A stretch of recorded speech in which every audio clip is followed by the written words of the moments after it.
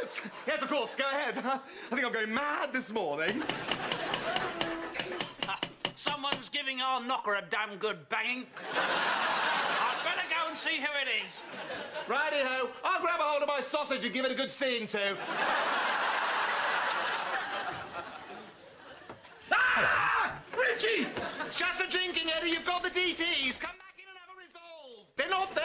Can I come in? What? Can I come in? I'll get arrested. Pardon?